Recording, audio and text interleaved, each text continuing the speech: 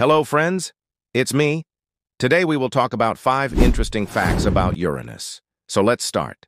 Number one, Uranus is the only planet in the solar system that rotates on its side. Scientists think that something huge has crashed into Uranus in the past. That's why it's not spherical like the other planets. Number two, Uranus has more than a dozen known rings.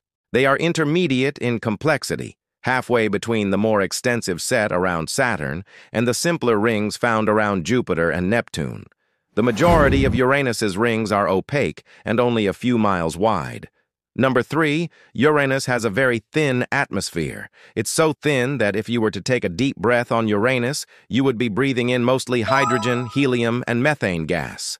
There are also trace amounts of nitrogen, neon, and carbon dioxide. Number four, Uranus has no solid surface. Its atmosphere simply fades away into a black, featureless void.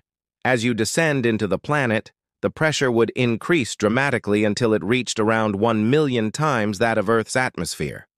At this point, you would be met with a thick, soupy liquid composed mostly of hydrogen and helium. Number 5. On Uranus, it rains diamonds bigger than grizzly bears, that's because the swings in atmospheric pressure cause diamonds to rain sideways at 9 kilometers per hour.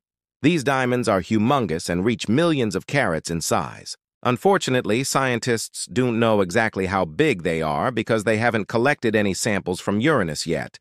But some researchers estimate that the largest diamond ever found on Earth, which weighs 306 carats, would look like a tiny pebble on Uranus. So these were just some interesting facts about Uranus. If you like it, please leave a comment and subscribe for more videos. See you next time.